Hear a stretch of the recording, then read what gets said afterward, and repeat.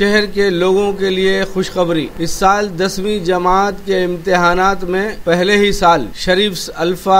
आई read English medium high school के